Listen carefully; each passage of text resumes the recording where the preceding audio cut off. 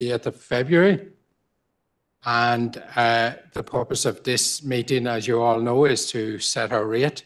So the first thing I want to do is to take any apologies. I have apologies from Roisin. Any others? John? Uh, alongside Roisin, Anne-Marie Fitzgerald, Paddy Kelly, and Catherine Kelly. Glenn Campbell is running late, but he hopes to get here. And just on that, a lot of our councillors aren't being able to get here because of adverse weather conditions. So after we've set the rate and stuff, we might want to come back to that and have a slight discussion on how that could change going forward if, if the chair agrees. Well, whether we take it tonight or we take it through the relevant committee, John? Uh, well, it, we maybe mention it tonight, so we'll be ready for the relevant committee coming up. Uh, Is that okay? Okay. All right. Uh, Paul? Councillor Hawkes and Councillor Moffat. Thank you.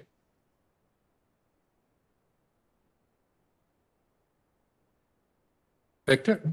We have two guys running late, but they're supposed to be both here. Okay. Thank you. And other, any other apologies? No? Okay. Have we any declarations of interest? No, no declarations of interest.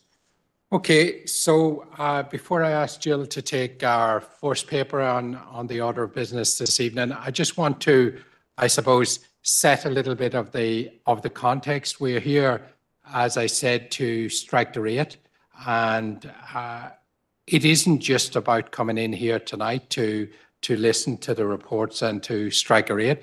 We've all had that opportunity over the last three months or so to engage with officers, uh, both uh, in the workshops and as party groupings and individuals to feed in and to have our say on what we see as important within our various uh, communities and districts to uh, make sure that we can deliver throughout the coming years. So it is on on that basis that we are arriving to tonight, uh, having done that due diligence work to be able to arrive at the papers and hopefully, uh, while probably not everything that people would want to see uh, being able to be delivered, there is the vast majority of what we can deliver within the confines of being able to strike a reasonable rate and to be able to be very conscious of the cost of living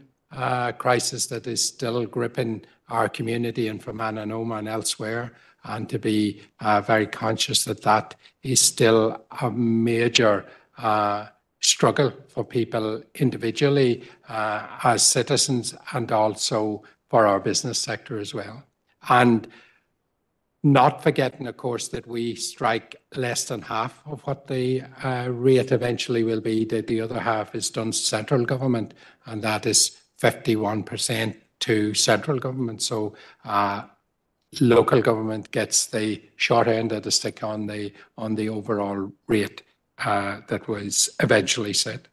So that being said, I'll ask Jill to take the first paper. Chair. Thank you. Um, members, good evening. Um, so there's a number of papers this evening. So the first paper I'm going to cover is the overall estimates of income and expenditure for 24-25, um, effectively the budget for the council um, for next year in terms of what, what we want to do going forward, and that's for your consideration and decision this evening. Um, at the outset, I want to thank members for your engagement in the process um, so far. Um, work has been going on for a number of months um, through the formal workshops, informally, through meetings with the various parties and other engagements.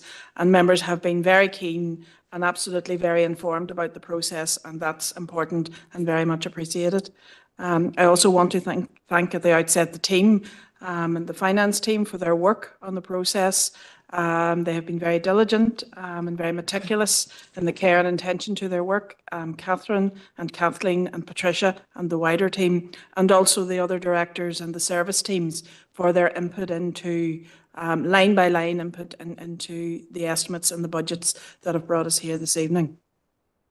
So in terms of um, the process, as members will be aware, um, the estimates process is laid down in legislation through the Local Government Finance Act, and there is a requirement that we prepare and approve estimates and strike a district rate by the 15th of February 2024. In terms of how we got to this stage, as you'll be aware, we've had two formal workshops with elected members um, where we've considered in detail the income and the expenditure required to fund the services, um, the capital plan, the proposed capital plan for this year in its entirety, and the funding associated with that, the reserves that the council holds, the position regarding central government funding, the rate space um, where we derive our income, and in all those aspects, we've considered the risks in each of those areas as it was scrutinised, the uncertainties, and, and ran through the assumptions. Um, so in terms of the reports here this evening, so the overall report um, gives a, a detailed uh, overview of the income and expenditure, and there are two appendices to it. Appendices 1, 1A is the proposed budget itself on one page. That takes you through the proposed budget across all the service areas, compares with the budget we had in place at this time last year, identifies the variance and the change quite clearly. And it also outlines the position in terms of reserves transfers, the position in terms of the financing of our capital expenditure, the grants that we get from central government, working down to the, the total amount of funding that we need to generate from the rate space and what that translates into the actual rate. So if I briefly, at summary level, run through the main points of this, so you, you, you get um, a, a, sense of, of how it has all come together.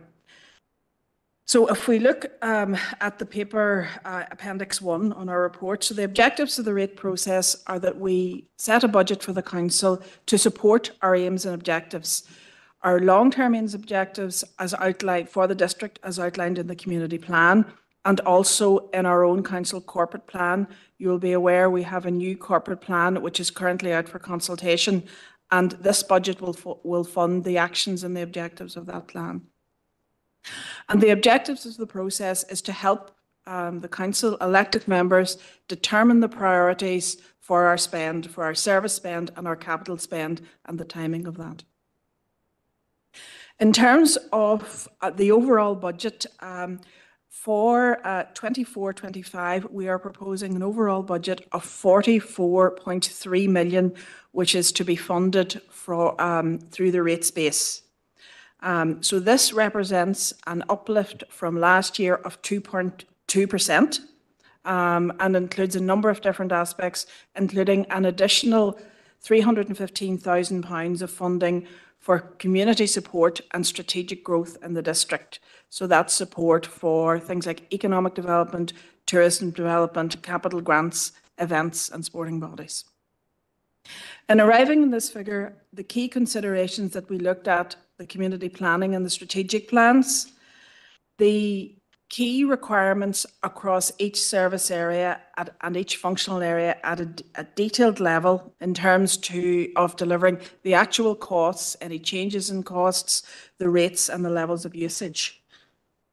We've considered the impact and, and built into the estimates of cost increases as a result of inflation, which is quite significant, as members will be aware at, at this current time. Inflationary pressures are significant. Um, we have built into the budget, and, and there is positive news in this uh, front, um, estimates of council income, which have increased over the last year, and we're, we're projecting that those will increase um, in 24, 25 through delivery of services, and the detail of that is included in the paper. We've built in um, consideration of employee costs and assumptions based around future pay awards. As members will be aware, um, staffing costs are the most significant cost within council services. We've taken account of the rate space and changes within that, the funding available from central government, and also, and importantly, that, that I will touch on, the use of a portion of our COVID reserve in terms of building that into the budget. So if we work through um, on page four of Appendix um, one, um, there's a detailed consideration of the salary and wages costs and our assumptions around those. So within our overall budget, the salary and wages costs are 32.7 million pounds, um, which represents 77% of our overall net budget. And we, we have a working assumption of a 4% increase in salary and wages costs for 24-25. That also includes an allowance for increased pensionary costs and pension liabilities. In terms of our operating costs, the estimates include operating costs of 18.9 million pounds. Um, some of the larger aspects within this are an additional 0.5, half a million pounds in relation to landfill costs um, and waste management. And the levels of wastes, as members will be aware, continue to fluctuate and will impact the final costs, the final outturn, that we see at the end of the year. Including also in those operational costs is the additional £315,000 for community support and strategic growth, um, an additional contribution of £115,000 for the Mid-Southwest Growth Deal, additional contributions for insurance costs, which are significant, as members will be aware. Um, costs of, of insurance for all across the council state for vehicles and for public liability insurance have, have increased substantially. So that's built into those operational costs. And the third aspect um, on the overall budget is the utility costs. Um, the estimates for those for 24 25 is 2.8 million pounds. And that is a reduction um, of £800,000 from our estimates last year. So last year, members will recall, in terms of the volatility in, in energy prices was very significant. We had um, direct intervention from central government at a household level um, because the volatility was, volatility was so high. Um, it, things have stabilised somewhat, although utility costs still are very volatile. But there are reductions in there that we're projecting um, of around £800,000 of, of fuel, electricity, heating costs and other costs. So that's a, an overall sense of the breakdown of the costs. In terms of then the income portion of the budget, um, the income we are projecting will increase from last year 10.4 million to this year 11.5 million, which is an increase of 1.1 million. So we have income from council services across a wide range of areas, leisure centres, arts and tourism facilities, our theatres, Marble Arch Caves, planning and building control, licensing. Income has increased this year um, through the work of officers in the council, and the assumption is that some of that growth will continue and increase will increase. So if we go to page six, and the table on page 2.6 summarises the position overall in terms of those three main operational areas and gives you a comparison against the budget and the estimates from 23-24. The next section takes you through a breakdown of the budget across each of the operational service areas. And I don't propose to go through the detail of that. It's, it's the overall budget remains the same, but it gives you a sense of how the budget is broken down across each of the different areas. So that's the overall um, budget, operational budget. Then we want to take a little look at the detail around the capital budget and our capital plan for 24-25, and Appendix 1B gives you the projections for the capital plan for this year. So the overall capital plan proposes a total expenditure of 13.75 million, and that's subject to significant external funding grant income of 6.4 million, 4 million pounds and other funding arrangements, including the use of council reserves.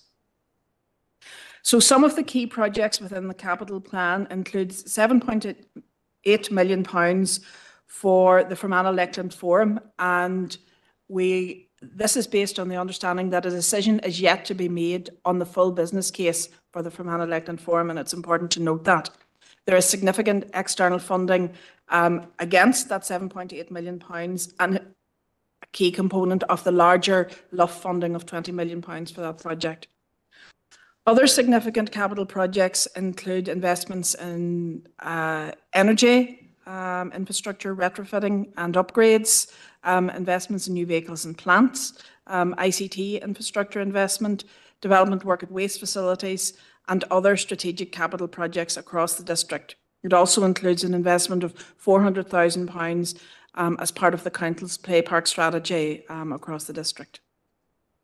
There are details of how the capital plan is to be financed, and those are summarised in, in Appendix 1B, uh, 1, 1B, sorry, apologies, um, through um, the grant aid, through um, the reserves and funding transfers from those, and also through a, a portion, £700,000, directly through the estimates which you have here this evening. Section 3.2 underlines the minimum revenue provision, uh, provision, and Catherine will cover this in more detail in terms of um, the proportion of funding that we need to set aside in the estimates to cover the borrowing associated with our capital projects. So you can see that shown in Appendix 1A in terms of the min minimum revenue um, provision, which is 1.3 million pounds. Um, funding for uh, capital expenditure of £700,000 and also an additional £400,000 which we propose to transfer for use in the longer term capital reserve. On page 9, section 4 details our plans for the, the use of reserves in 24-25 and the Chief Executive um, in her update will give an overview of the adequacy of the adequacy of the reserves um, in order to ensure prudence within the council and financial stability in the in the council to ensure that um, I suppose the future capital picture is robust and stable. The council has specified um, usable reserves and unusable um, reserves for both capital and revenue purposes. And you can see the transfers of reserves outlined in Appendix 1E, 1A. So the overall net position for reserves transfers is £50,000. Um, so there is a transfer to reserves um, of 1.05 um, million pounds to the capital reserves for both um, repairs and renewals and also to the capital fund. So it's important that we um, invest some of, some of our money in the long term to ensure that we maintain our estate um, through that renewal and repairs fund. It also includes, and this is important for members to note, a transfer from the COVID contingency reserve of £1 million. Um, and page 10 outlines the position with regarding the COVID contingency reserve. That was a fund set up um, as part of, of our COVID recovery to ensure that we would effectively smooth the significant fluctuations that we're seeing as a result of the, the medium to longer imp economic impacts of the COVID pandemic. And we're certainly seeing those in terms of salary increases, inflationary increases. We're proposing to transfer £1 million of the COVID reserve into the main estimates. Um, and really, that's necessary to ensure a balanced budget for this year. But the implications for that is that we really need to do a lot of work in the forthcoming year to ensure we achieve budget savings as that, that smoothing effect of that COVID funding will no longer be there. If we move then um, towards uh, other support um, and other aspects of the proposed budget, so central government support, so there are a number of um, grants and supports that we receive from central government, and the details of those are highlighted. Um, so the total central government support is estimated to be around 3.57 million pounds. So it really is very significant support in terms of the estimates process. Um, the detailed breakdown is there. Um, Section 5.1 outlines the rate support grant, um, and that we have um, a provision in the estimates of £400,000 for the rate support grant. It's important to note that that rate support grant has been decreasing over the past number of years. Very significantly this year, there was a decrease of 45% on the rate support grant. Um, that's an important, very important um, of income for our council. It was set up to support councils where the rate base was lower, councils like ourselves in rural areas where we still needed to deliver the same level of service as other councils, but our rate base was lower. Um, so the assumption is that it is four hundred thousand pounds, but really, um, that's an estimate assumption. Um, hopefully with the return of the Assembly, there will be more, um, confirmation around that and more support, um, but it's, it's an uncertainty that we've built into, um, the, the funding. We also have the D-rating grant, um, which is, um, comes from central government or whatever, in terms of, um, reductions that are, yes, reductions that, that have been applied to um, the rate space uh, for, for payments, and that's the central government portion of that to, to align that through. So we have a, an allowance for that. And the transferred function grants, which has been in place for a number of years. Finally, members, as we move um, towards bringing the estimates together and, and bringing the proposed budgets together, we have an overview of the estimated penny product, um, the value of the rate space, and our assumptions for 24, 25 is this is that this will be at a similar level um, as we've had for this year. It is an estimate, it is an assumption, but that is our working assumption based on our detailed engagement um, with Land and Property Services in terms of their assessment of the rate space at this stage. So that brings us down to the finalisation. Um, so you can see as you work through Appendix 1A, work through um, how the budget is put together, um, we um, arrive at an overall estimated figure, which is the amount to be raised from the rate space of 40, 43.15 million pounds. And then we work through how that aligns with the estimated penny product and, and work through the workings of that so that we have then the calculation of the proposed rates and an indication of how that relates to previous years. Um, so on page 14, um, there's an overview of the impact of the rate space um, that will have an estimate that that will have on um, domestic properties and capital properties um, within the region and non-domestic properties within the region um, in terms of, of the impact of that. So that, members, is an overall summary in terms of where we are. I suppose by way of overall position, um, there is continued financial instability in terms of external market conditions. Costs to the council continue to rise, inflationary costs, and there also remains uncertainty around central government budgets. Um, so overall, there is our assessment is and our recommendation is that there is a continued need for, for prudence within the budgets for us to take a cautious approach due to this uncertainty um, and certainly with an eye to, to our future plans for the council that, that we need to have a very robust estimates for this year to account for that. So that is the summary um, of the estimates position and the recommendation is that, that we would note that at this stage as we work our way through the other papers that, that are to be presented. Okay, thank you very much, Jill. Have we any uh, thoughts or comments there? If haven't, uh, could I have a proposer and second to note that paper as Josephine's proposing?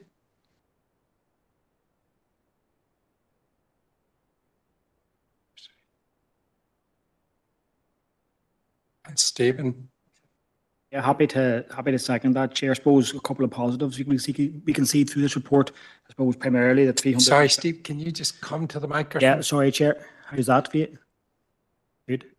Getting Uh, better. I suppose some of the some of the positives, Chair, I suppose in that report is uh, three hundred and fifteen thousand pounds of an additional support to communities out there, and and uh, of course the extra hundred and fifteen thousand I see there for the mid southwest growth deal. So there's you know there's positives in this report, and just commend Jill and her team for for the time and effort and the information provided. So happy to second that, Chair. Okay, thank you. Josephine, did you want to just, I mean, they are, Uh, Yes, thank you. Uh, Well, I did want to uh, thank Jill and her team for preparing a very comprehensive report and for presenting it in such uh, a coherent manner, which enables us to understand fully the decisions that we're about to take. Um, And I too welcome uh, the additional investment for community support and economic growth. uh, which I think will be of great benefit to our community. So happy to propose uh, the noting of this report, Chair. Thank you. Okay, thank you. Are we all agreed, members? Okay, thank you very much.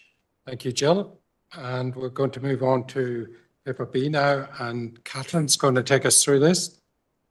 Yeah, thank you, Chair, and good evening, members. Um, just to complicate things, so we have the paper B with an appendix one with a suite of appendices attached to appendix one. So I won't bring you through every single one, but I will give you an overview of these. Um, so really, as Jill had mentioned, um, and I just really want to uh, just note again the um, legislation um, behind which the reports are brought to yourselves tonight. Um, and that the key the key piece there is the Local Government Finance Act NI 2011, um, which has been in place now for a number of years. And throughout that period, um, CIPFA, um, an accountancy um, body, has produced a suite of codes, technical enough in nature, but very, very easy to work through in terms of the council's treasury position and its borrowing position linked to a capital plan.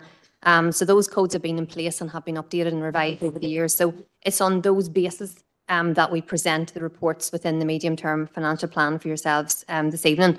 Um, and just noting that the medium-term financial plan members sets out the clear governance procedures um, for setting a capital strategy and a suite of potential indicators.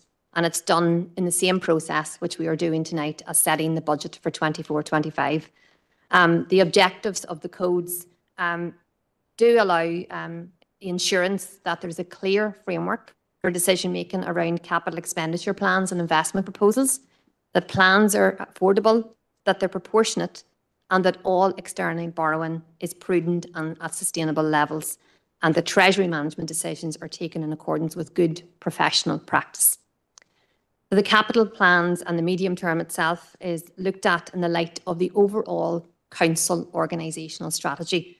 Um, and that's to ensure the decisions that are made are made with sufficient regard to the long-term financial implications and any potential risks emerging for the council.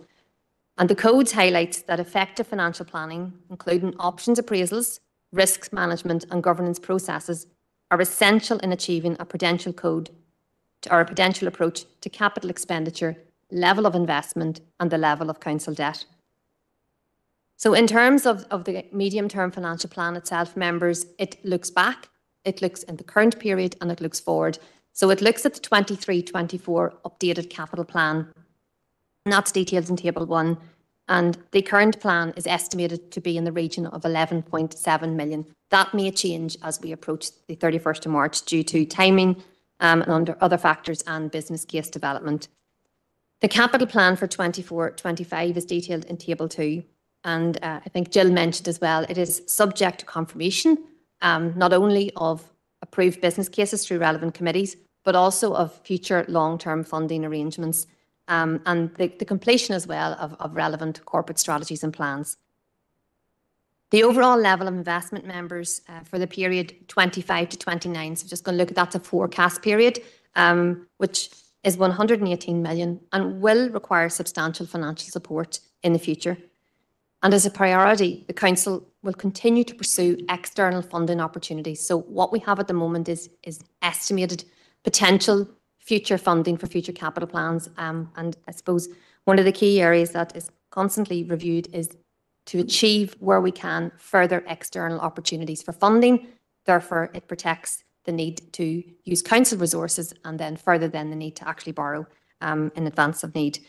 The overall programme, um, taking into account the 24-25 position, is 144 million over the five years. So by no means a small project.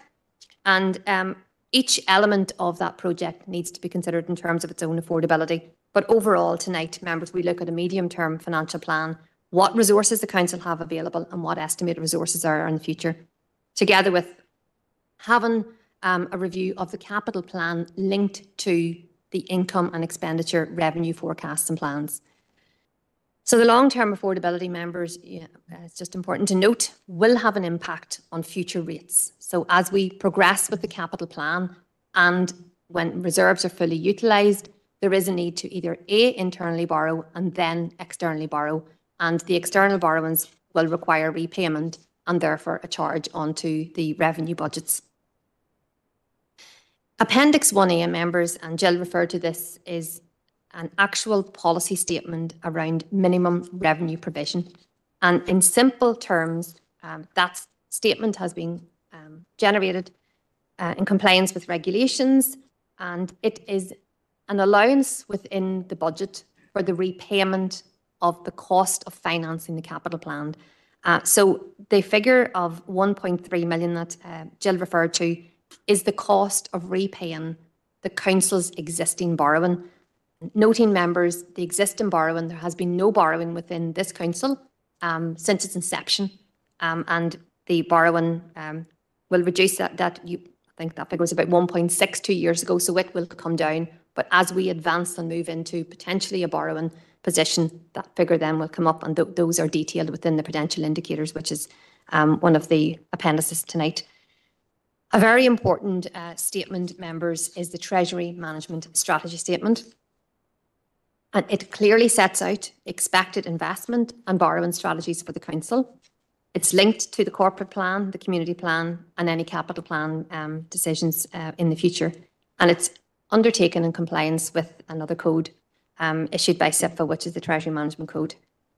It does include um, elements of forecasts right up until the 31st of March 2029. It includes a term called capital financing requirement, which is an understanding of when the council will need to actually borrow externally for capital investment decisions. It considers council reserves, it con considers treasury investment, it looks at the net interest position. So members will note we're currently generating more investment income than what we're paying out in loan repayment interest, um, but that will move to the alternative um, as we go into an external borrowing position. It also, um, very importantly, members, sets the scene. It's supported by the Council's Treasury Management Advisors. It sets out approved counterparties and specified investments in which the Council's investments are actually um, deposited with. It includes limits and periods of investments, how the credit rating of those institutions are used, and the governance and reporting arrangements. And members may be familiar with uh, the quarterly reporting that uh, we do ourselves through the Policy and Resources Committee on the Treasury Management Statement and particularly on the next um, report, which is around the prudential indicators. That's brought on a quarterly basis.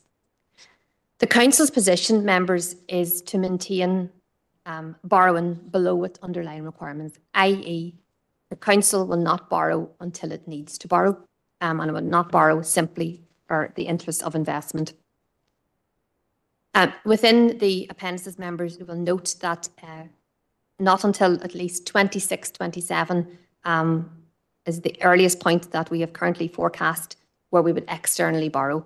Um, and that, that, that, that is good. Um, there, there is sufficient resources um, currently available within the Council's investments, so those investments will be utilised first um, before uh, we proceed with any external borrowing.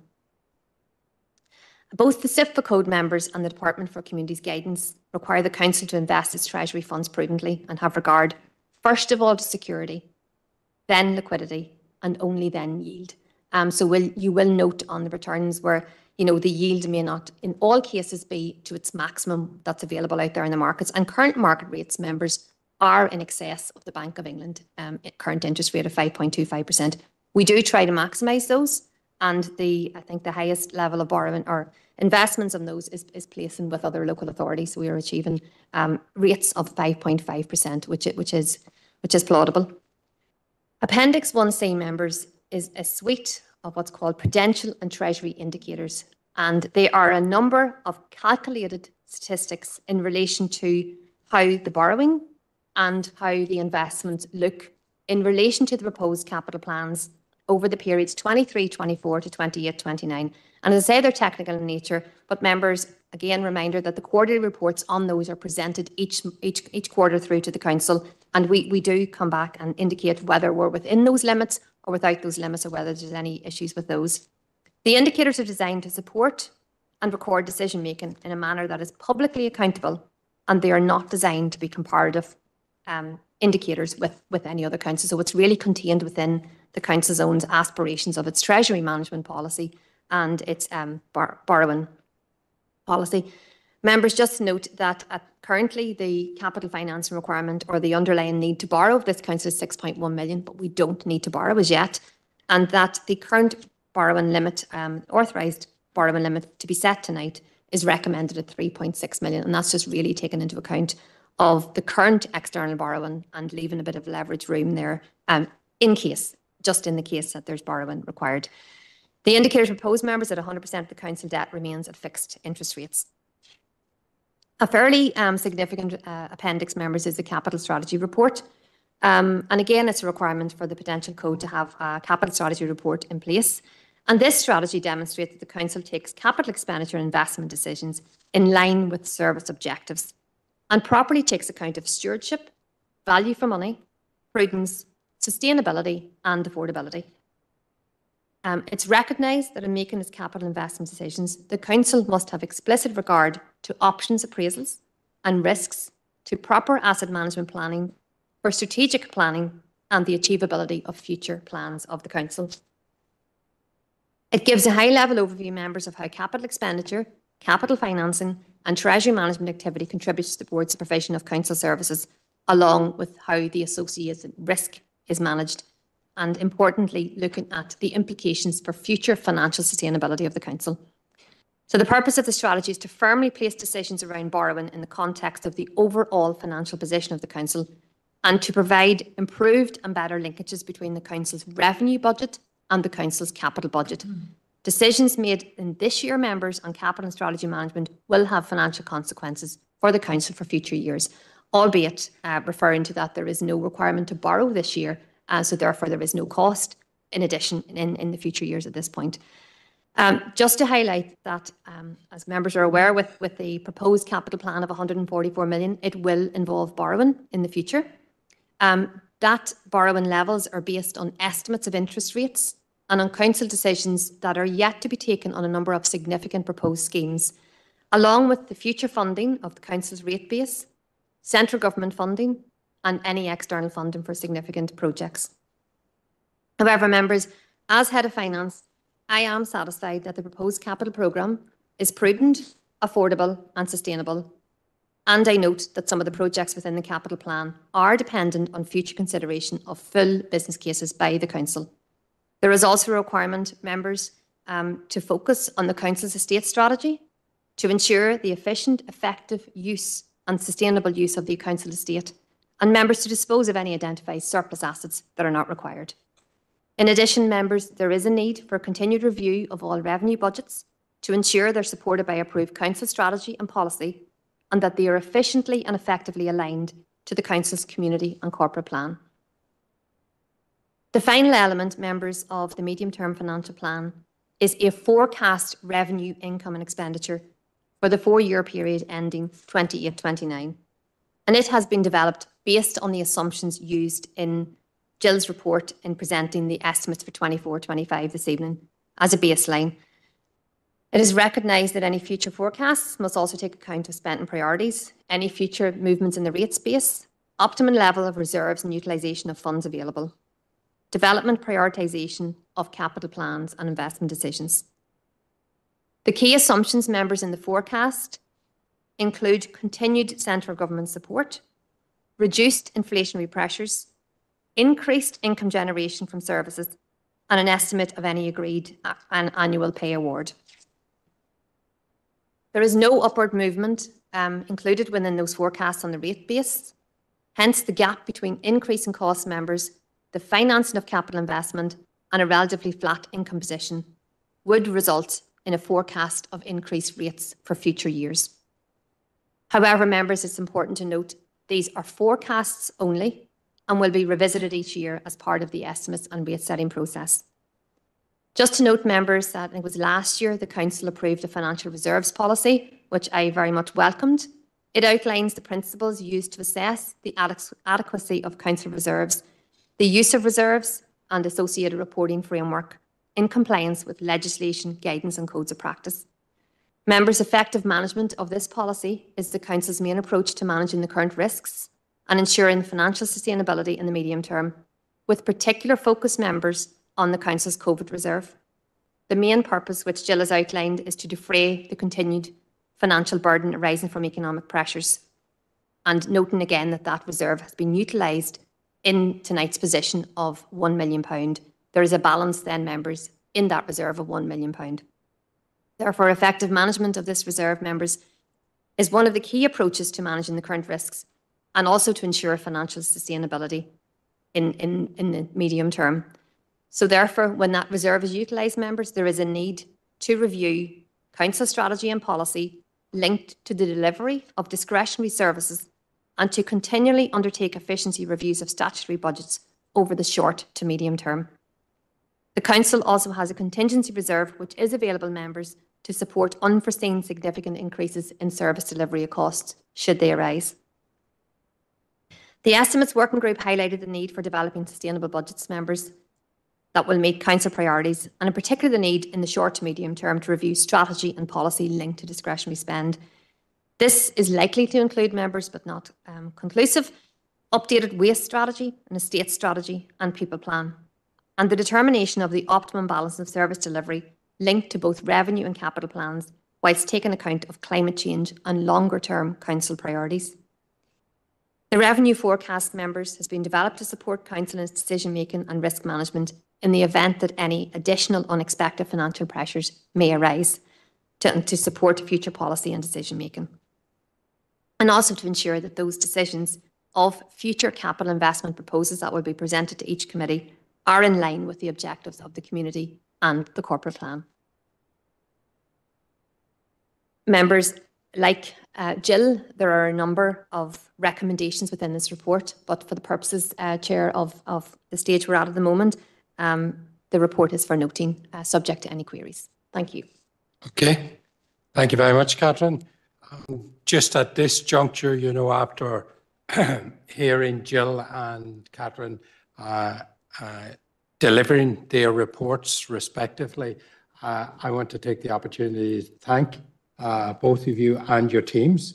And of course, this goes beyond your teams. This goes right across the full council uh, and all of the departments under the different directors to be able to uh, research the evidence base that's needed to be able to put these reports together along with our own input as members and to be able to deliver these reports. So uh, it is very much uh, uh, work that has taken months to be able to uh, get these papers and the delivery of them here tonight to help us uh, as we work through the months and the weeks of being able to set uh, and move towards setting a rate. Okay, so I'm going to bring Erlyn. Thank you very much, Chair, and thanks to Jill, Catherine, and the full time at full team at Finance and every other department and all the directors and heads of service right across the council. Uh, a lot of work has went into this, and uh, as I think was said at the outset, we've all had our party group meetings with you. Uh, we've had individual meetings with you, and we've had the two workshops. Just uh, on behalf of the party, I'm happy to propose the recommendations as listed. Thank you, Chair. Well, we- Thank you, Earl. And have I a seconder?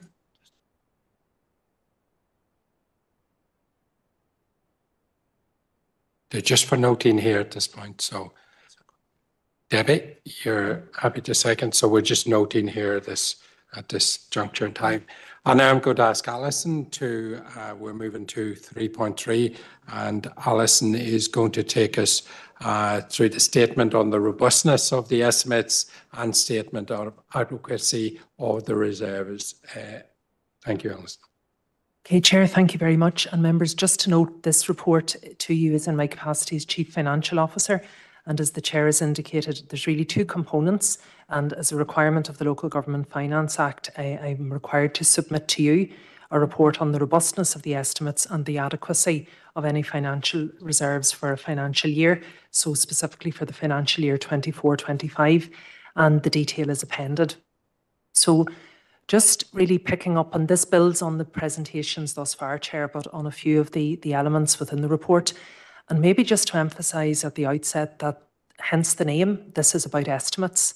So we are taking our best assessment of the information available to us, considering all the variables, and based on that, we are making our recommendations to you, and uh, those assumptions, though, may change in the course of the year. In terms of the adequacy, excuse me, the adequacy of reserves is relevant in particular to the general fund reserve, and that relates to the delivery of normal council operations, and it's required to ensure the financial stability and security of the organisation. And formally, members, I acknowledge my responsibility to carry out the review of the robustness of estimates and the adequacy of the reserves as part of this process, and therefore just reporting to you this evening.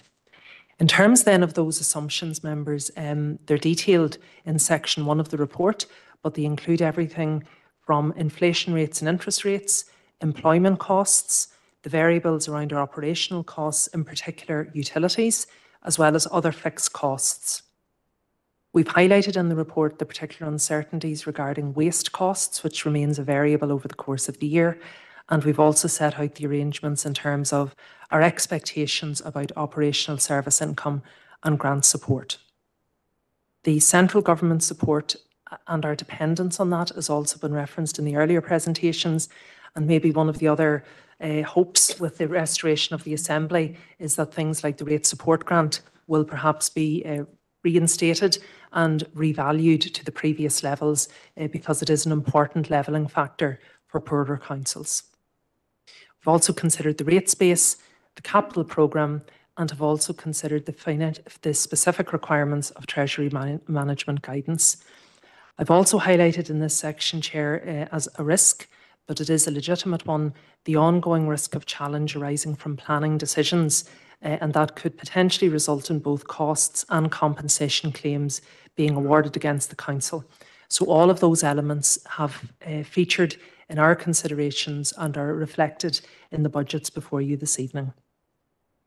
Um, as has been stated, the overall aim of the estimates is really to meet the legislative requirements to ensure that there's adequate funding in place to, through an agreed budget plan to support the council in its delivery plans, whilst ensuring that an affordable district rate is charged to the ratepayer. And we are very mindful, members, of the uh, engagement throughout the process that you have reflected on the particularly challenging uh, financial times that this is for so many within the district, both from a, a domestic and a non-domestic perspective. Um, in terms of the opinion, then, Chair, which I set out in detail on pages five and six, uh, and as I noted at the outset, while the estimates process cannot provide entirely robust figures, uh, because there may be lack of appropriate evidence to support definitive estimation of costs and incomes, uh, we have made those assumptions, which is a normal convention, and the assessment of the estimated inco- outcomes have been made, and uh, these impact on the robustness of the estimates. However, notwithstanding that, and in reflection of all of the information presented thus far, members' guidance and support throughout, and professional advice, I'm satisfied that the risks that impact on the financial stability of the Council have been fully and properly considered, and that robust estimates have been made for the 24 25 financial year. Moving on then, Chair, to section three of the report, which is around the adequacy of the reserves. Um, as members will know, we do have a financial reserves policy in place, and that outlines the general principles that we use to assess the adequacy and use of council reserves. And I know it's something that you're familiar with, and we report to you on a regular basis. Um, in terms of the minimum prudent level of reserve that the council should maintain, I think it's important to be aware that this is a matter of judgment and there is no precise methodology for calculating the adequacy of reserves. It's the council's safety net for unforeseen circumstances and must last the lifetime of the council unless contributions are made from the revenue budget. The minimum level cannot be judged merely against the current risks facing the council, but must be regularly updated as these risks can and will change over time.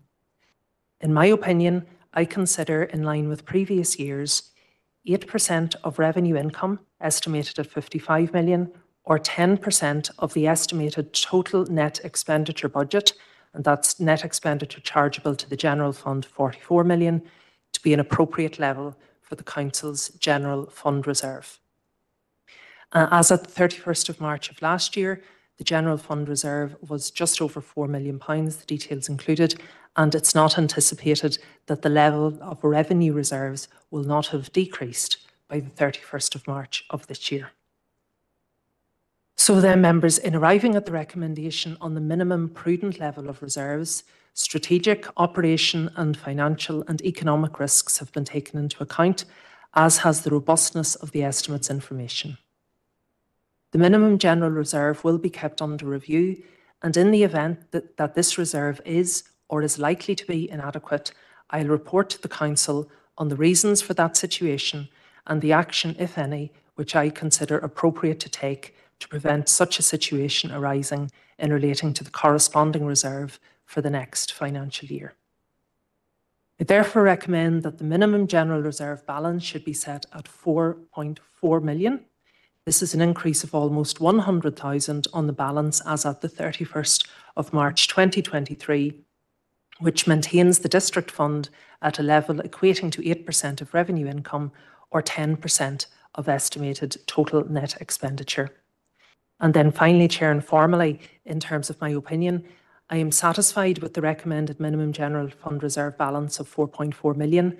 There is a need to maintain general contingency and resilience reserve to strengthen the mid-term financial res resilience of the Council. There is also a need to consider capital reserves to provide a secure base to support the delivery of an ex eh, expansive capital plan for the district over the medium to long term. And with that, Chair, I'd formally recommend that the Council approves a minimum general reserve balance of 4.4 million pounds. Okay, thank you very much, Alison.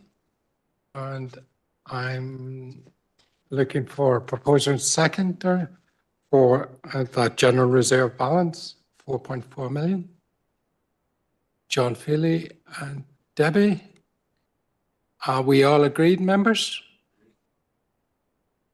Okay, thank you, members.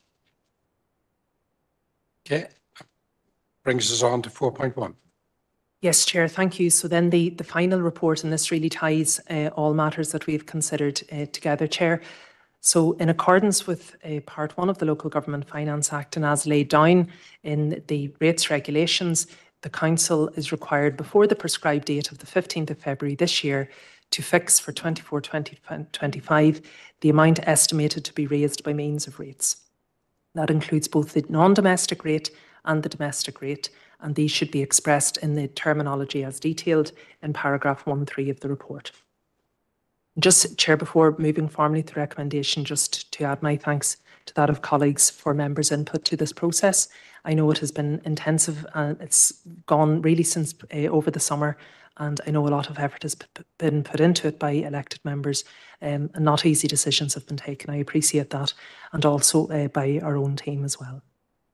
So I will just state the formal recommendations, Chair, that the Council approves the Council's medium-term financial plan 24-25, approves the minimum revenue provision policy statement for 24-25, the Treasury Management Statement 24-25, the Prudential and Treasury Indicators 24-25, and the Capital Strategy Report 24-25 that the Council authorise an affordable borrowing limit of 3.5 million for 24-25, approves a minimum general reserve balance of 4.4 million for 24-25, adopts the estimates of 24-25 as set out in Appendix 1A and Appendix 1B of Paper A, and authorises the expenditure shown in the detailed estimate schedules, authorises the expenditure and transfers to and from reserves as set out in Paper A, and finally strikes a district rate for 24-25 for the Fermanagh and Omagh District Council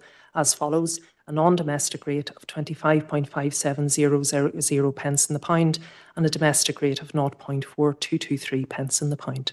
Thanks, Chair. Okay, thank you very much, Alison.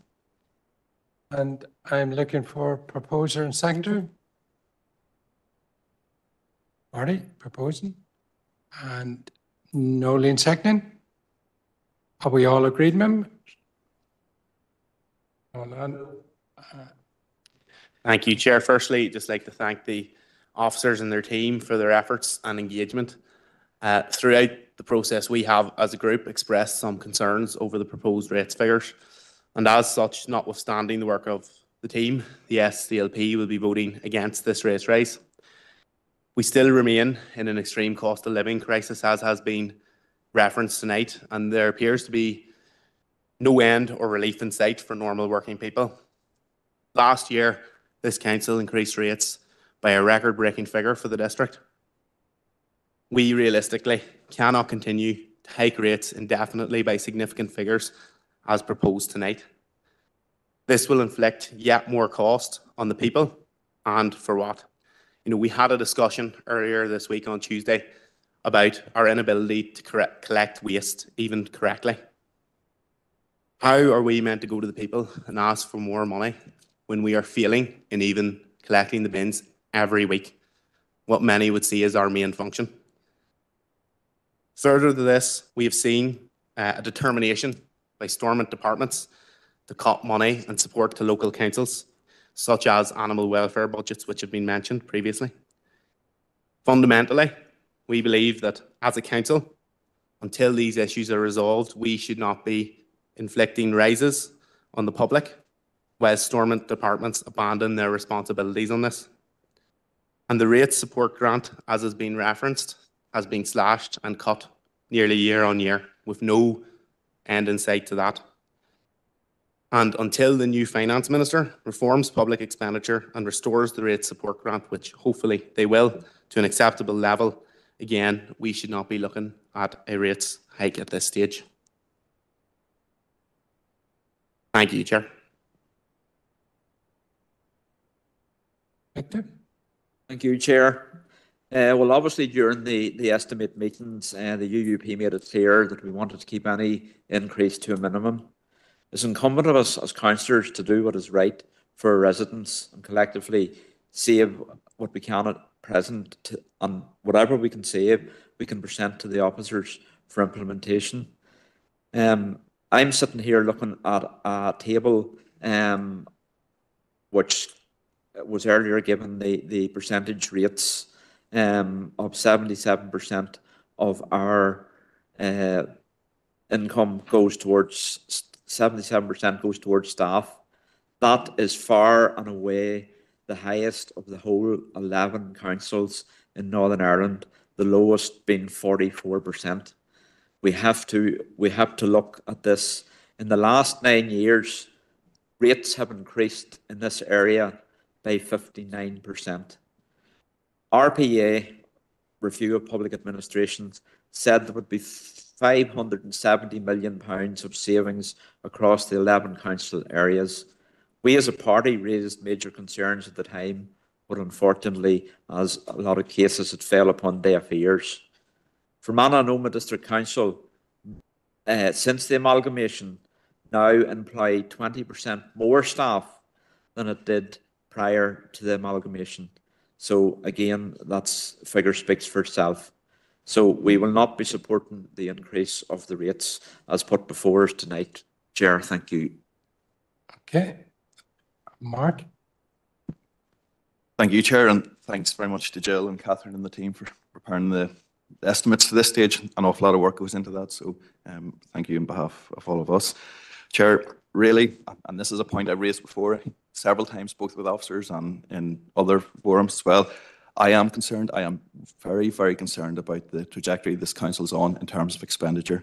I mean, we look, and in fact, Councillor Warrington has just explained very well about the hook we now find ourselves on in terms of so much of this council's revenue budget is going towards salary and wage costs, far and above beyond the Northern Ireland average, and that is to the detriment of services. So it's a broader point, and it's I know I'm reiterating the point, but I just want to make the point again tonight because it's an important meeting this council is on an unsustainable trajectory and it will require tough decisions, but I don't see those tough decisions included in these rates tonight. And the officers in the top table will know broadly what I mean by tough decisions in terms of addressing that issue within this, the salary and the wage bill. Moving on, Chair. There's one, I mean, I have lots of concerns, to be completely honest, with lots of, or many elements of the, the rates process. But one piece that I'm particularly concerned about tonight is, and again, it's a it's an issue I've raised on several occasions before, but it's about the five-year capital plan. And I know tonight is primarily focusing at the next 12 months, but the five-year capital plan is an important part of that. And whenever I look at that plan, yes, I see a very ambitious plan, but I see an unaffordable plan because whilst we're spending over 100, and, I think it's 118 million, around that figure, um, on capital, of that, over 38 million, I think it's 38.2 million of that is borrowing. And when I talk and when we talk about external borrowing, that is borrowing going out to the banks like any household has to go out and borrow for a car loan or a mortgage. Borrowing costs money. And whenever I ask the officials, and there's one project in particular, it's, and it's the Lakeland Forum, and many members in here will, will remember or will, recall that our group and have raised concerns not about the forum project, because I think there's unanimity amongst the council members that we want to see the forum redeveloped, but to the absolute extent that it is, it is costing an absolute fortune. And whenever I look at the form, of that 38 million, 24 million of that is for the forum alone. And yet, whenever I spoke to officers a number of weeks ago in one of the briefing sessions, and I asked about what is the cost of the borrowing, yes, we will have to pay back that 24 million, but obviously you have to pay interest on top of that. And the figure was at that stage, and I appreciate interest rates will change and borrowing costs will change day in and day out. But the figure of borrowing that was 15.4 million on top of the 24 million. That is an enormous cost and frankly an unaffordable cost for an organisation our size, for a council our size.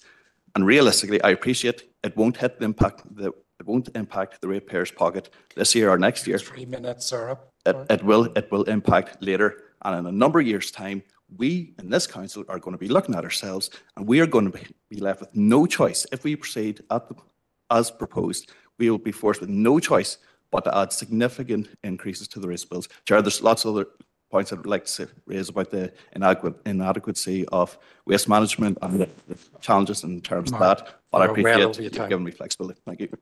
Thank you. Josephine? Uh, Thank you, Chair. And uh, again, at the outset, I want to uh, record uh, my thanks to the Chief Executive, to uh, Jill and Catherine and their teams for all the work that they have done in preparing these estimate reports. Um, We have had workshops and extensive engagement. And I, I, I firmly believe that everything that uh, could reasonably be done has been done uh, to keep our uh, rate increase uh, to as low a level as possible. I'm not for one moment dismissing uh, the concerns uh, that have been expressed uh, by the SDLP and Ulster Unionist Party regarding uh, the potential impact on our ratepayers. We are acutely aware of the cost of living crisis and the difficulty uh, that our constituents have in paying their rates and the impact on our business community. But I think that we have to live in the real world and we have to acknowledge that we are living through an exceptional period of stress. We are facing a perfect storm emerging out of COVID. World geopolitics, over which we have no control, have had impact on inflationary costs, energy, building costs, insurance. We discussed this in council uh, the other evening. And uh, we want, we flatter ourselves quite rightly that we are fair employers and we do want to pay our staff uh, uh, uh, an appropriate salary for their commitment to this organisation. We do have an ambitious capital plan and uh, over the course of the negotiations, I have been asking whether any part of the capital plan can be postponed. Uh, but I believe that what we have agreed now is appropriate. Um, our constituents will want to see our district progress and grow and to provide high quality public services delivered in uh, facilities that are fit for purpose. Um, it is not an ideal situation to be increasing the rates by any amount, uh, but if we are to qu- square the circle and not lay, lay out uh, additional pressures for ourselves as a council in the future, then we have to accept uh, that some rise in the rates is unavoidable. And I want to support uh, uh, the proposed estimates, Chair. Thank you. Okay, thanks, Josephine.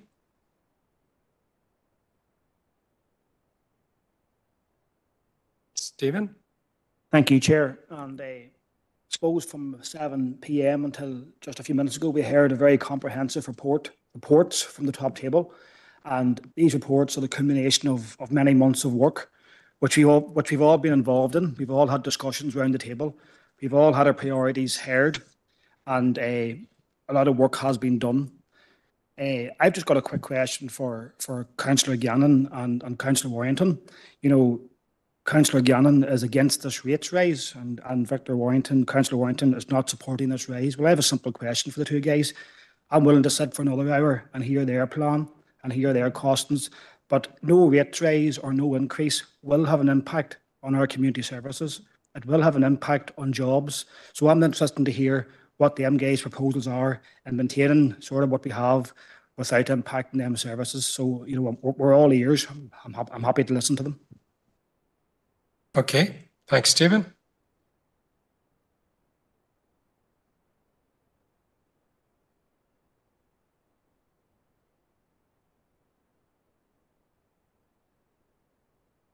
Okay, I'm not uh, seeing any indication of.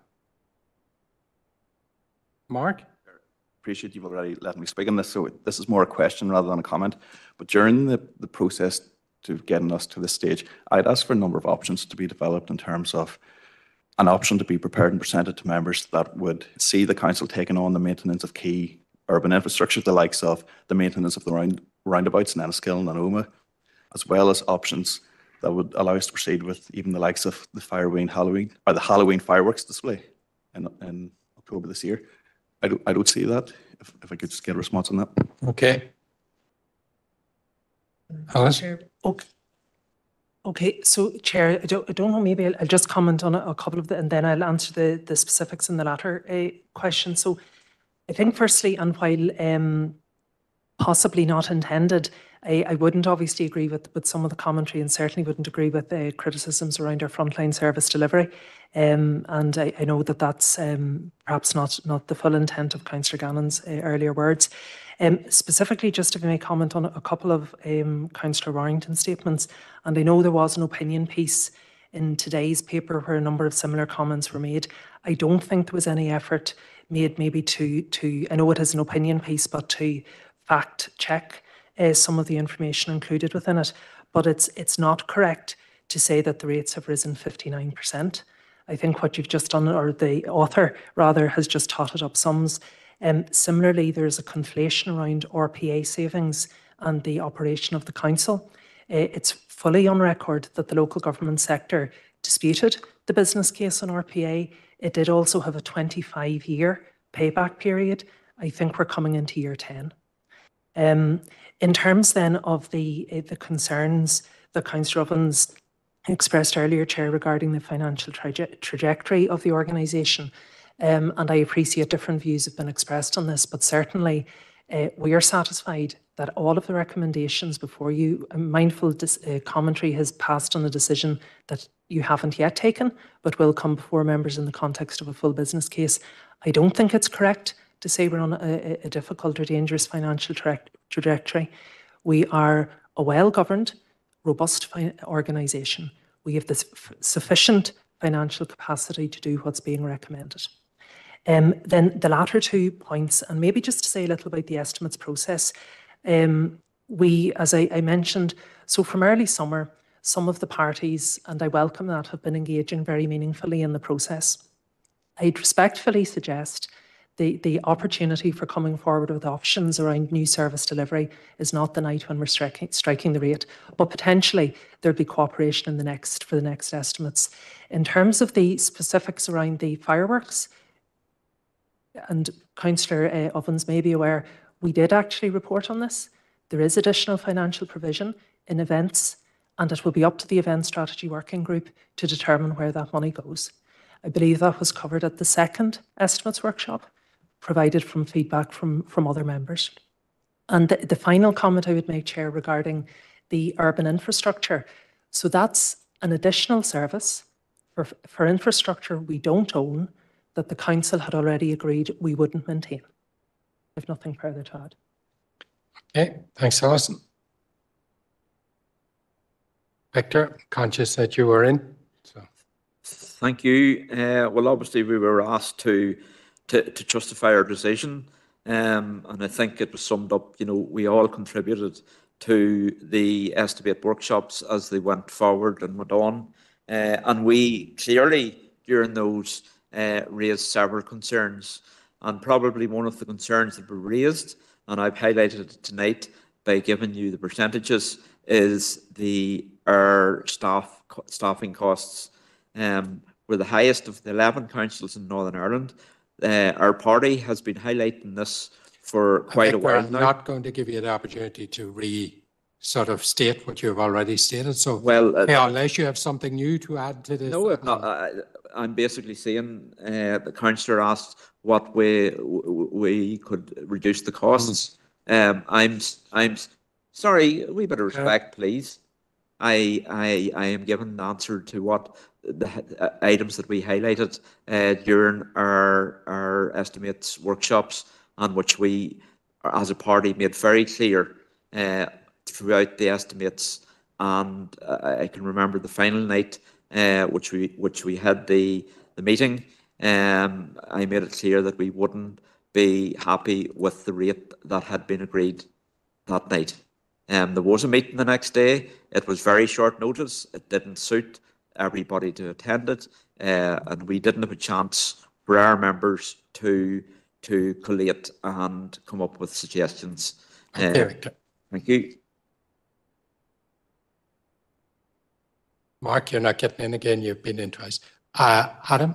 Very you- I'm conscious briefly. also that you have been in, so. So just a- very briefly, Chair, uh, we attended all the estimates workshops and com- and communicated with the Chief Executive our concerns and said them in the estimates workshops. For those who were there, would have would have heard them. Um, just to request at this stage a recorded vote on that proposal, Chair. Thank you. Okay, fine, thank you. John? Uh, Thank you, thank you, Chair. Uh, Just firstly, I'd like to, on behalf of the Sinn Féin Party, thank all the uh, council workers and officials that have worked on this. I'd also like to thank all the councillors who have partake, partaken in the rates estimates workshops and process. It's long, arduous, and it's took many months. And I would, what my council colleague asked for proposals of how we get it down, what cuts we're going to make. And some councillors came in and they said that they've highlighted concerns. We've all highlighted concerns. We've all highlighted particular concerns. That's not the question we asked, in fairness. We asked, have they any concrete proposals to get this rates down? And they don't. Um, so I, one of the concerns is, is of course the wage bill as well. A budget of 44 million and it's 32 million. It's it's massive, and that does leave a very high percentage. Can I just ask one quick quick question? Our revenue budget is around 44 million. They're saying ours is the highest percentage, but on the scale of the 11 councils, that revenue budget would that be near the top or would it be at the bottom? Eh, Sorry, Chair, thank you. It'd be towards the lower end. Um, I think, and I haven't now had access to the figures that Councillor Warrington quoted, but I think it's important to note in the context of how codings and salaries, so I, I've not seen that information. I do know, and it has been routinely reported, that our salary bill would be higher. Um, there are a number of reasons for that. And I also think actually in, in the reports, reference is made to the need for a consideration of appropriate service delivery models against council priorities. But to answer your question directly, Councillor Feely, uh, we would certainly have a lower budget generally and a lower proportion of our budget would be revenue and a less capacity to raise income, which is why things such as the rate support grant are critically important to an organisation such as ours. Uh, thank you. As Mark Twain said there's three types of lies, lies, damn lies, and statistics. So when you say we have the highest wage, that, that probably is true, Bill, that is true. But you you are comparing it to places like Derry and Strabane that have a revenue of 60 or 80 million, maybe, Belfast 120 million. Mid Ulster is probably the only council close to us that has a revenue close to ours, and I'm sure their rate, their wages bill is on the upper end as well. Because when you have a massive, massive rates increase, we're, we're a large rural, rural constituency. It works against us. And as, as we have been raising these concerns for the past three, four months as well. Ju- but just, so where can I of request just a brief adjournment, if possible, for maybe five minutes to discuss this and then we'll come back? Is that okay? Okay, you're proposing, just need Second. Stephen second. Okay. Yeah, 25. Twenty-five 20. Okay, members, we're just going to reconvene at uh, 25 past. See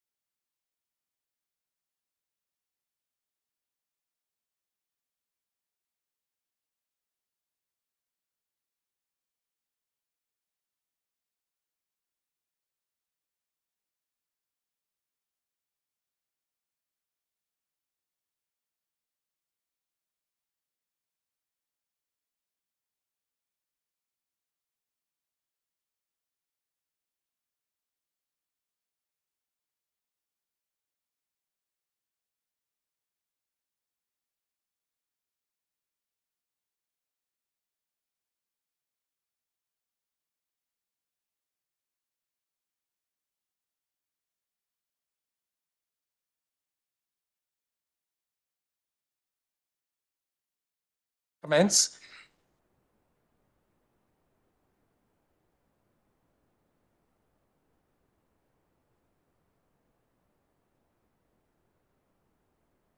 Okay, we'll carry on where we left off. Thank you all for that recess. So our next speaker is Diana. Chair, I'm happy to give way to Councillor Feely. Okay, thank you. That's okay, that's okay, thank you. Um, By magnanimous over you, John? yeah, thank you. Chair, um, it, uh, first of all, at the outset, I'd like to just recognise the amount of work obviously that has gone into this and thank uh, Alison, Jill and the team um, for um, the the work you've done on this. It's, it's not an easy task by any means, and it is something that we're confronted with annually. Um, some of the councillors asked what we would do in terms of bringing down the rate. And I mean, there was an issue that I did raise in October 23, really around the Grange refurbishment project, um, questioning the value for money of having two contact centres along with civic centres. And I was advised that the council's estate strategy um, is being reviewed at the moment. Now, we haven't actually seen it yet. It's for the to examine desk-based requirements. Um, so taking into account during COVID, um, we, our staff did operate hybridly, and it appears to be a model that many members are happy with.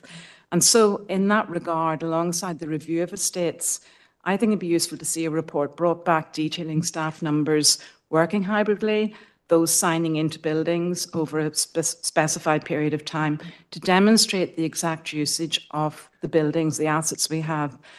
Um, subject to that, and if we find, if council finds that the accommodation can be um, can be uh, rotated according to need on a day-to-day basis. Um, I would propose, I think that that surplus assets could be sold off and tho- those be put forward into the capital, um, uh, capital receipts to lower capital repayments. And that is one, one, one method of repayment that I think, I think really we do need to look at our service delivery overall, um, take um, a measured step back and an overview to see how we are delivering services. And it's also up to the councillors to, to look at what we are recommending, um, bearing in mind the day-to-day running costs of the council to serve our community. Um, earlier uh, reference was made by Councillor um, Councillor Ovens um, surrounding number of options that we were seeking further advice, and it hasn't just been landed tonight into this meeting, because I know on behalf of our grouping, an email was sent on the 11th of January um, asking for a number of options to be prepared um, for the council to once again enter into an agreement with the DFI for the upkeep of some of the, uh, the areas discussed. So that, that email actually did go in advance to, to ask for a response to that. So it's just to put that on the record as well. But as just to demonstrate that we do have to look at means of reducing the overheads, the operating costs, and I propose to see, obviously not for tonight, but urgently going forward, this review of the estate strategy, the rationalisation of estates, of assets, um, to determine where the savings can be made. Thank you, Chair. Okay, thanks, Diana.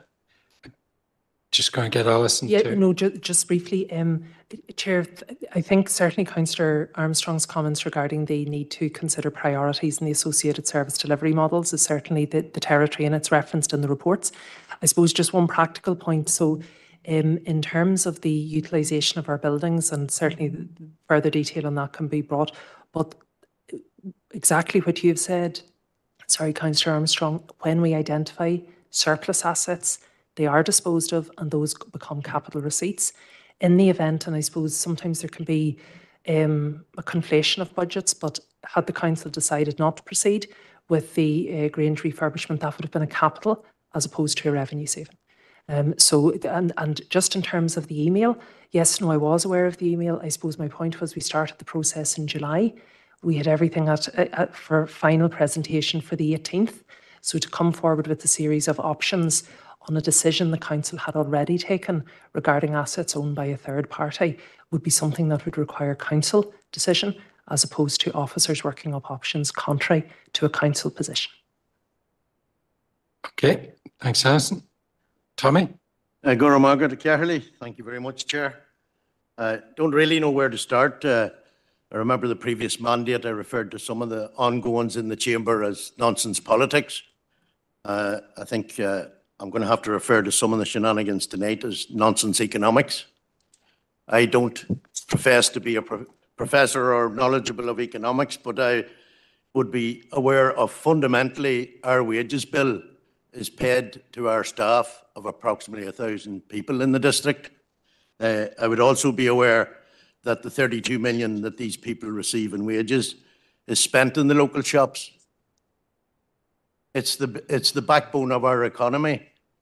Uh, it's just a pity our wages bill wasn't even higher, that we could guarantee people more employment. And I can't believe that the Ulster Unionist Party, in the day that's in it, when Enniskillen has just got the news of potential 300 redundancies in the BT EE unit, that they would suggest that the rate that we are setting, which is coming in at a remarkably low figure given the, the strictures that has been on the economics that this council has faced for the last two or three years, I, I have to commend the staff for coming in with such a low figure. Social media was uh, rife this evening with uh, potential rate raises in other council areas of between 14 and 19 percent. And we have councillors here that are sitting saying we're paying too much in wages, which inevitably would lead to redundancies in our area. And uh, any knowledge of redundancies and how it works, it would cost this council millions upon millions to facilitate the redundancy packages for our workers. It's absolute nonsense economics. It's not the first time that the Ulster Unionist Party has come in here with their zero rate increase nonsense, nonsense politics, nonsense economics. As far as I'm concerned, it, uh, we have arrived at a very creditable figure, and I think it's one that our customers out there, our, our constituents, are fully aware of the pressures that are on the council to operate as a, a business model like any other private business out there. And the majority of the people that I speak to about rates understand that. But I wonder how the Ulster Unionist Party could sell it to the people and the workers that we have out there that their only proposal to reduce the rates even further is to do away with their jobs. Absolute nonsense and shameful politics, nonsense politics, nonsense economics. Gurmagat Keherly. Okay. Robert? Thanks very much indeed, uh, Chair. I apologise for being late. I was away doing something else. So I'm not going to enter into a rebuttal with regard to what transpired earlier this evening, and which I wasn't a part of. But I think um, part of what Councillor Maguire has said, I'll, I'll have to rebut. I, I don't think the thrust from our party has ever been to actually create unemployment as such within the council. It's actually to relook at how we actually carry out and deliver our services through people for and on behalf of the council. There has been a tendency, I think, within this council, and it has grown over the last couple of mandates, to actually deliver everything in house. And therefore, we employ more staff in house to do that. We can actually look at how we actually carry out and deliver that service without necessarily having staff within house. All the other councils do that type of model. And that's why their relative wage bill, for want of a better word, is so much lower against their revenue resource on a yearly basis. It's not about creating redundancies and not doing the work. It's about having a fresh look at how the, the, the work is actually carried out. So I'll leave that there. And I think going forward, we as councillors have to bear a burden in, in that regard. It's not the officers. The officers are only enacting our wishes that we decide in this chamber. So I think we have to look at ourselves and say, do we want to do a fresh way of operating and working and maybe free up some of our revenue resource to do something else rather than the way that we're actually doing it? Because this past year, with regard to the way COVID and the cost of living has impacted every part of life, both public and private, with regard to the substantial rise in salary bills, has hit us substantially well. And the only way that we have been cushioned by that is by the frugal approach that we have taken over the last number of years through uh, our, the good auspices of our officers in building up substantial reserves. But those reserves have now become depleted, and we're embarking on an ambitious capital programme that is already being impacted by the lack of resources that we have to actually fund that. And we are looking at additional costs going forward. So we actually need to look at this more seriously. Not necessarily now, but I think in the incoming year and just see how we're going to do it. I'll leave it like that because this is really a discussion that needs to take place after this and moving forward. Thank you, Chair. Okay. Shem? Uh, thank you, Chair. I fundamentally uh, disagree with Robert there and all the uh, Ulster Unionists who have come in. Uh, Robert says this is a discussion that needs to take place after. No, it was a discussion that needed to take place from June uh, last year to now. I believe that's the format. This, the night's the night for the decision, not for st the start of a discussion. Uh, I remember the Ulster Unionists and the Tory party having a, an electoral path that called themselves the Yukons or, or some such thing. Uh, well, tonight they're definitely going down the Yukons or whatever that phrase was route. Uh, they're, the Thatcherism at its worst. Uh, privatized, sorry, privatized services is what I hear. Uh, uh, pay off workers, put people onto the dole. And as Tommy said, 300 uh, uh, workers today on the threat. And the best Ulster Unionists can come up with is threaten council staff with unemployment. And the SDLP sitting over there saying nothing. When they were asked what was their proposal, they said that they had put them to, to in the workshops. But I didn't hear them.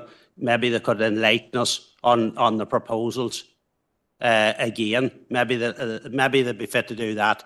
But stud politics at its worst now from the Yukons.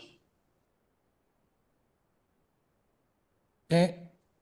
John? And Thank you, Once Chair, in. for letting me back in again. Firstly, uh, Councillor Armstrong's proposal of uh, looking at hybrid working, brilliant. But even if we were, we do understand the 15th of February, we have to set this rate by. So making the proposal tonight, it's not even, it's not going to come back by next Thursday, but I thank you, at least it was one positive thing, and we'll be supporting you when you bring that to one of the committees, and we'll be setting it for you, and we'll see how it goes. But I do understand Councillor McCann may have put you under pressure by asking you to things that we can actually cut tonight by next Thursday because you didn't bother fully taking part in the process earlier. But if either the SDLP or the UUP want to propose we put this off until Monday night, you come back with cuts that can be made and implemented before the 15th, we're more than happy to support you. Otherwise, if you, if you don't make that proposal, we'll be going to a vote tonight. So ball's in your court, and after that, we're going to have to make a decision. We're going to have to do grown-up politics. Okay, I'm just going to bring Alison in at this point. No, th- thank you, Chair. It's really just on um, a a point of maybe practicality, following on from Councillor Feely's comments. So um, to get to, well, whatever the level of reductions, but 1% in the rates is equivalent to £400,000. But the key thing is all of these reports are linked. So everything has to be reworked. So it's not as simple, respectfully, as coming in and saying, this is where we're going to cut, because all of the schedules have to be replaced. So that is not, I would say, from an officer perspective, a feasible consideration. Okay, thanks, Alison. All right. Uh, Just a question, uh, Chair. Um, last year, of the 11 councils in the north, I think that the rates we struck was either the lowest of the 11 or the second lowest. It was definitely one of those two.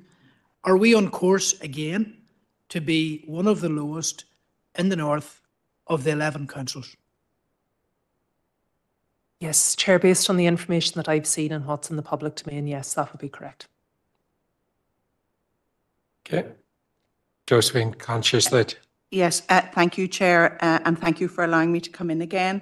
Nothing that I have heard uh, in the debate in the chamber this evening, uh, Chair, has made me uh, um, change my mind uh, regarding accepting the recommendation seven of this report in, in its entirety.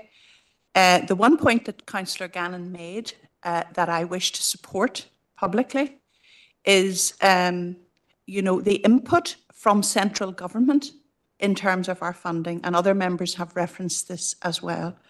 Um, I think there has to be a recognition by central government that local government needs financial support to help us deliver our services in very challenging situations, and particularly considering climate change and the um, uh, amendments that we have had to make to our properties and vehicles and so on. Uh, so, you know, um, uh, there, there is a, necessity for um, uh, this all to be looked at again. The rate support ra- grant, we have long considered, Chair, that the uh, transfer of functions grant uh, has been inadequate to make, meet our demands.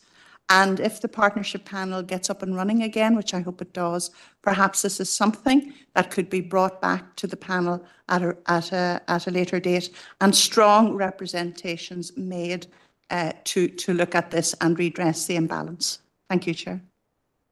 Okay. Okay, I'm not seeing any other speakers, so I have a proposal and I'm minded to go to that proposal that was proposed uh, by John and seconded by Debbie, uh, that we do strike the rate as uh, outlined. Colgan. Okay, so where did I get the other one? Was it? So who? Councillor McColgan proposed, Councillor Hayes. Okay, so we're going to revise what I just said there. So Marty uh, proposed and uh, Nolene seconded, and that was a request from Adam. I'm correct in saying a recorded vote. So if we want to uh, set that vote, Donald?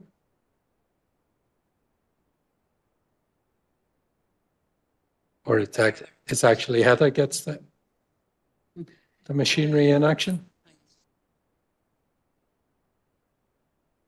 It's up there, flashing. Mhm. It's on it.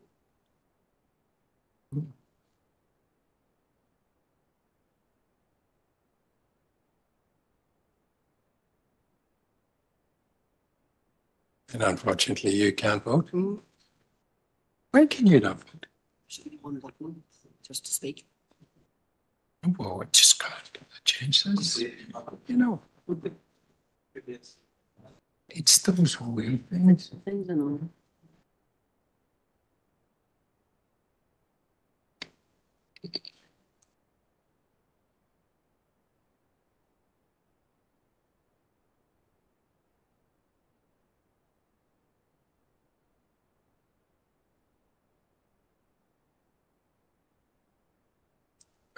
Let's see, does our figures come up this time?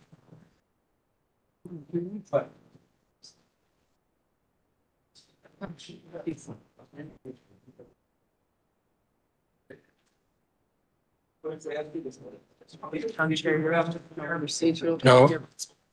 Can't do it, the vote's over. Victor. Your vote's placed, that's it. Your vote's placed, that's it. Thank you, change. So what have we got in a number? This is, I, I, I know. It's not easy to read that, but what it used to. so that's nine, and one's 10, 14, 15, 16, and the it's 24. Is that right? 24 to 2, 4, 9? Is it? What does it? I do this 25 plus 1 is 25. 25 to 9. And abstains, none. Yes.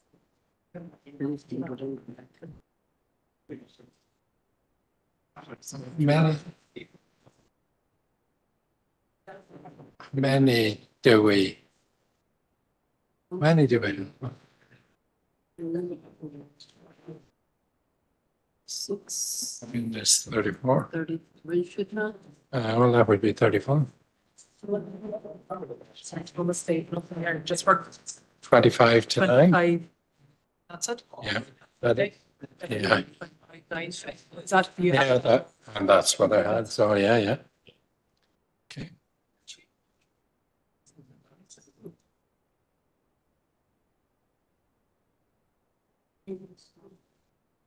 Okay, members, uh, the vote was 25 in favour, nine against, no abstaining. So uh, that vote is carried. Okay, and we have no correspondence? We do, we have one. sorry, Chair, we just have one item of correspondence and uh, it came today. Uh, It's in the other folder and there's um, a time sensitivity. So members will be aware that, sorry, it relates to lands at Cararty Road, Brookeborough. And the council has previously given a letter of support for community organisation to proceed with their uh, interest in DFI-owned property. This is a, a letter for a similar request from another organisation, so it's the Elim Church, and they would also wish to express interest uh, in, in the facility, and they set out their proposals on the site. Not a request for funding of any kind, Chair, um, but there's nothing to prevent the council from issuing a second letter uh, of support. It's property owned by a third party, um, and we, we can, with member support, we can issue that accordingly. Okay, thanks, Alison. Victor? Thank you, Chair. Uh, I obviously was one of the councillors who had been contacted about this, and uh, I would like to propose that we send a letter of support uh, on behalf of the Elim Church. Thank you. Okay, thanks, Victor. Seamus? Thank you, Chair. Um, was the original uh, request uh, not to ask us to uh, sponsor their uh, the cross community group uh, to be sponsors uh, for their No, no, Chair, it was just simply a letter of support for their application to the department, and we had no, no further role. And how, uh, how can we send a letter of support to two, uh, uh, for two uh, organisations? How, how would that work now? I'm, I'm confused in that. Okay. It wouldn't be that, un- well, it wouldn't be that unusual, Chair, in that quite frequently we would receive requests for groups from across the district applying, for example, for funding to the same fund, uh, and the council would regularly give letters of support. Um, so it, it wouldn't conflict, and we made no provision, uh, or nor were we requested by the group in the original letter that it would be exclusive support for the, the first interest that came through. Um, well, I would, uh, the Development Association is the only cross-community group that I know of that's in Brookeborough. It is the only neutral space that's in Brookeborough. So I would uh, uh, suggest or propose that that they're the group that uh, we support. Like this is a church group that has come in. I know they're doing great work.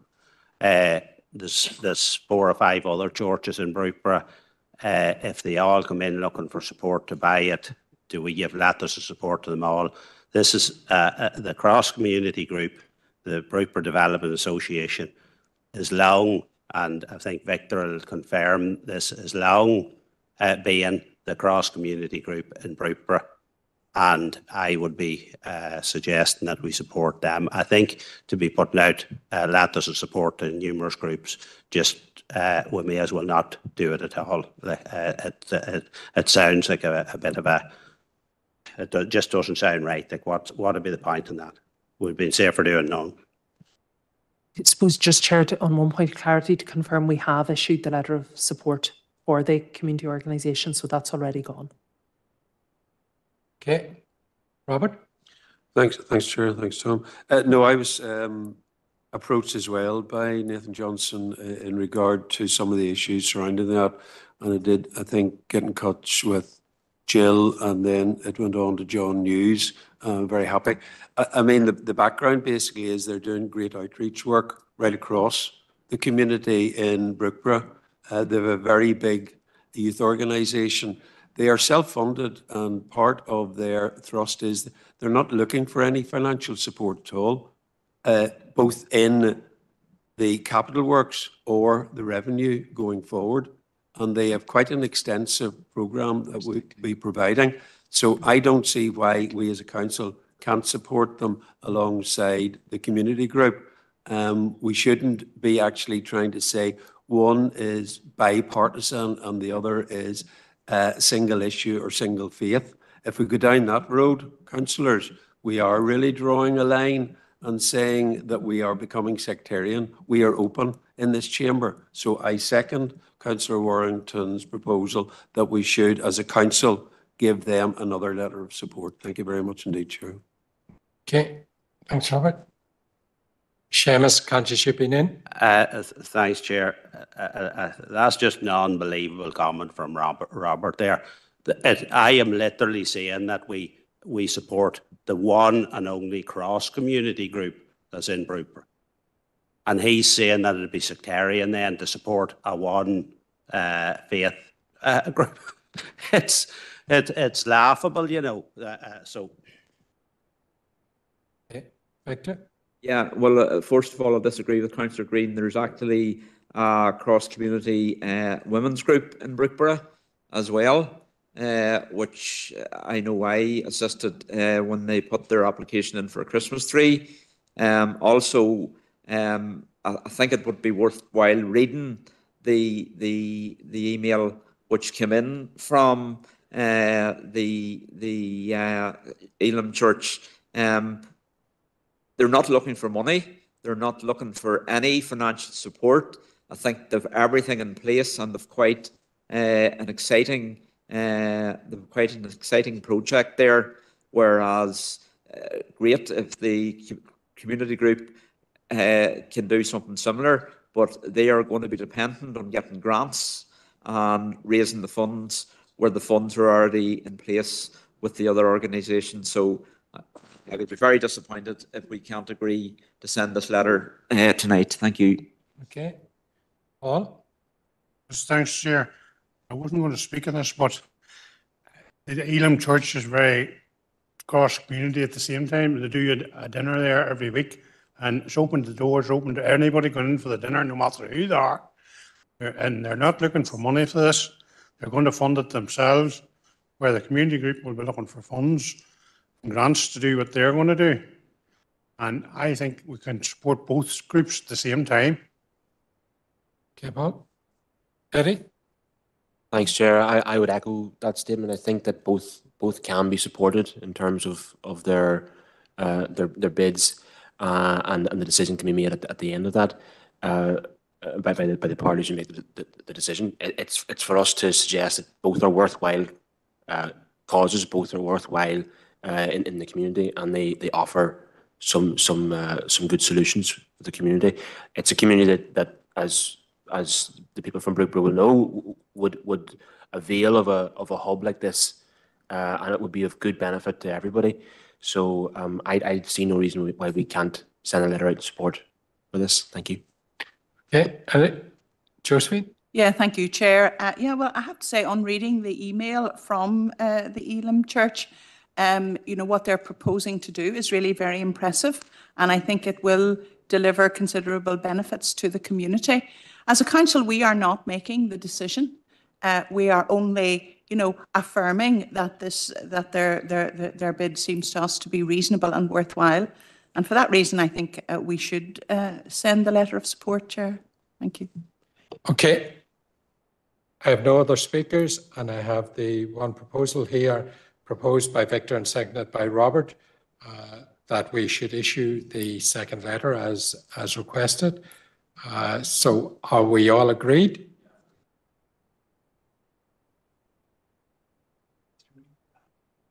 Uh, dissent from that decision because I think it's a, it's a, uh, to send a letter of support for two groups for the one project is completely, uh, uh, t- taking away the fa- uh, the, the actual thing of uh, writing a letter of support. Like if there was ten groups in, they were writing for ten of them. It makes no sense. Okay, Seamus. Okay, members, that's passed. And uh, that moves us to uh, any other relevant business. And the only bit of relevant business is I have Dermot uh, that just wishes to uh, address us. Thanks, Chair, for letting me bring this bit of business to the Chamber. This afternoon, BT announced that it is considering closing its Enniskillen office, putting at risk 300 jobs. This, this, they claim this is because the office building is not fit for purpose.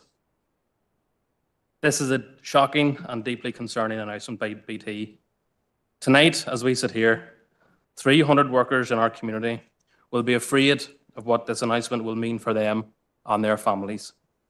BT is one of the largest employers in the wider Fermanagh area and for many years has provided jobs and opportunities to so many in our community. It is a shameful that they are now considering turning their backs on the community here. A small rural county like Fermanagh will be absolutely devastated by the, the job losses of this magnitude. BT have serious questions to answer about this, and one of the questions that I would ask them is what consideration did they give to the impact that this 300 job loss would have on Enniskillen and the wider Fermanagh area? Sinn Féin MLA Gemma Dolan has requested an urgent meeting with BT so they can explain this announcement. And as a council, we must do everything that we can to support the affected workers. And we should ask and we should demand that BT protect these jobs. So I am proposing, Chair, that we also seek an urgent meeting with BT so we can ask them to explain this announcement and to directly relate to them the serious concerns that we have. Thank you, Chair. Okay. Thank you, Dermot. Anthony? Thank you, Chair. Yeah, just like to agree with everything Councillor Brown said there and se- second his proposal. Okay, thanks, Anthony. Marty? Yeah, Just to come in, uh, at the start of the meeting, uh, John had mentioned about councillors who couldn't make it here tonight because of the adverse weather, so, and it was talked about bringing it up at PNR. So while I understand the exception of localised or regional weather conditions, I think that people should be allowed to uh, go hybrid to, to facilitate them if that's the case. But there's also another situation that for someone, uh, for say, maternity. Please, people, it's really hard. Chair, for someone who is uh, um, on maternity or paternity leave or incapacitated due to injury or illness, that, that the same condition should be made that they'd be able to attend uh, the meeting virtually as well. Okay. Alison, did you want to just? Yes, Chair. And uh, just, yep, no, certainly. Um, so, Chair, we have revised the standing orders. Uh, now, maybe just the latter point that Councillor McColgan has referenced, there certainly isn't provision. And maybe just to say very briefly, uh, the council in its previous considerations, both in the last mandate but also in this mandate, were very keen that the council meetings would remain fully in, in person. Uh, but we have provision for uh, hybrid at all of the other meetings. So the specifically around the uh, amendment that we made to standing orders, it was around extreme weather. Uh, where they would and would move fully virtual rather than hybrid. So I suppose it would just be if, if there was a desire that we would include an additional paragraph chair to allow for hybrid attendance. And the I suppose the severity of the weather was linked to extreme circumstances, which really was accompanied by a not to travel warning. I, I'm not disputing the circumstances I know in Mid-Tyrone this evening were challenging. Um, so, but it, it probably didn't meet the test as we had described it in the standing orders.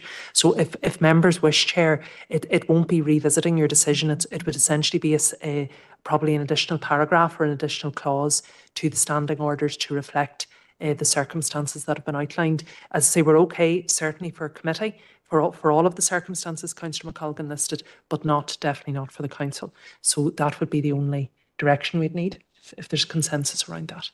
Okay, all right. Yeah, and, and Chair, I, I agree. I, I prefer the full attendance at the council meeting as well, but I just think in those circumstances, and tonight, an exception where mid Tyrone was probably worse than a lot of other areas. I mean, I travelled from Armagh here and, and had no problem, but I, I did see photos of the roads there, and perhaps people had concerns not just coming here but getting back again if the weather conditions worsened out due to the, the weather warning.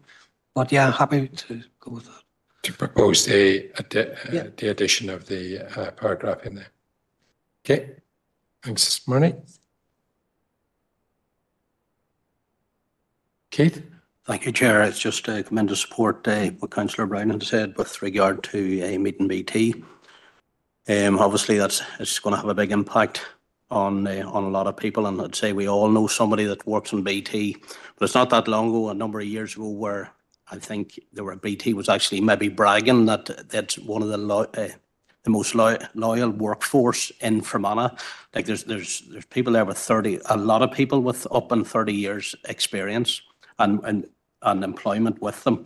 And it'd be just a shame, you know, sort of thing for for, for us to be looking at three hundred day redundant, redundancies and it's at any time of the year. So I'd just uh, like to support uh, Councillor Brown and what he has said. Thank you. Yeah, thanks, Keith. Eddie? Thanks, Chair, and uh, yeah, I echo uh, the previous councillors um, and, and what they've said so far. Um, could I ask if we could add to the request to arrange a, a meeting with Invest NI? Um, part of the the explanation from BT was the uh, the poor standard of, of location there.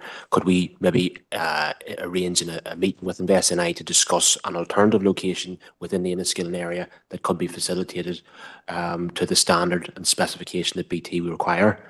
Um, I would like I'd like at least to remove that argument from their from their plinth because uh, this would be devastating uh, to people of Enniskillen.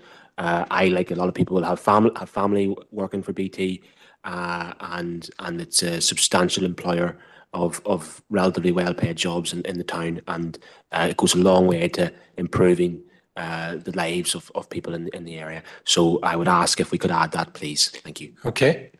Dermot, are you content that we would follow that? And Anthony, you're content? Okay. Yeah. Uh, Robert? Yeah, just very quickly, um, I would agree with everything that all the other councillors said. Uh, the loss of any job is obviously bad, both to the person that's losing the job, but to the community that they serve and the, the whole wider family. And I think it's a lame excuse from BT that, that they can't actually input the capital to actually upgrade and do whatever. They have a very highly trained core staff in there. And I think as an employer, they probably realise to re-employ another quartile of staff somewhere else is probably going to cost them as much as it would to actually refurb the thing. So I think what we as a council need to put forward to them is to look at their proper options and see what way they have done it and try and get them to see that they need to invest, reinvest as well in the works in the workforce. And if that means an upgrade in the infrastructure, they should do that. So our support is wholehearted in uh, behind the workers. Thank you, Chair. Okay, so I'm going to take that proposal by Dermot and seconded by Anthony. Are we all agreed? And with the inclusion uh, as suggested by Eddie. Okay? And have I got a seconder for Marty's proposal that we, uh, Stephen? So are we all agreed that that uh, extra paragraph would be included? Agreed? Okay, members, thank you very much. That uh, concludes our business for tonight. And safe home.